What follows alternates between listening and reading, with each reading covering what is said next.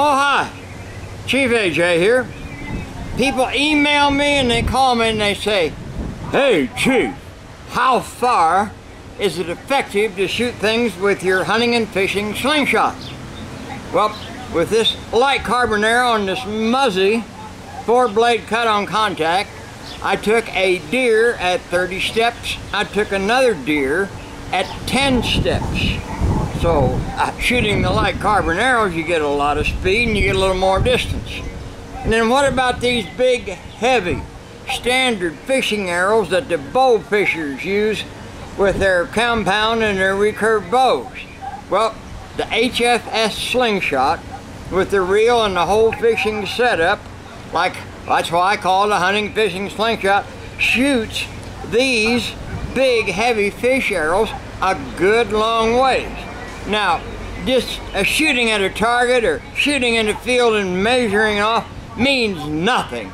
So I asked my 14 year old grandson, JV, to take some long shots on real fish in a real lake just to show you how effective my hunting and fishing slingshot can be shooting the big heavy arrows. There he is, real JV, 30 foot above the water.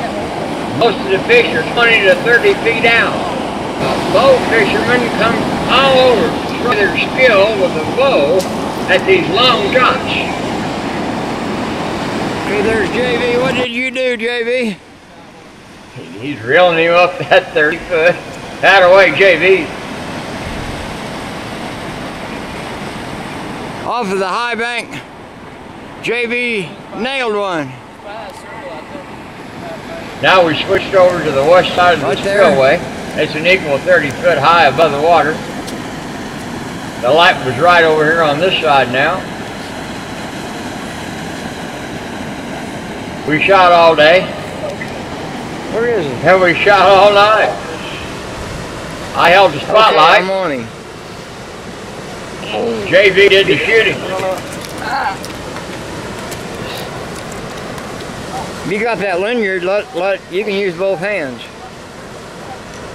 Oh, we got a really good gar here. We're trying to get him up 30 foot up the cement bank and over the... That's scary. Mm. T.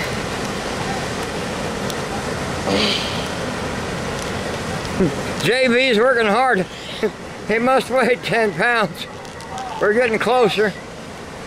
I shined the spot down He's there in got the water. the spine. Oh, that was a good. Wait a minute, you're coming too fast. There, I'm on him now. There was a, right through the middle of the spine. What a shot. He sure looked bigger in the water. Fish after fish. Plumb center, right He's behind really- the head. Oh boy, good.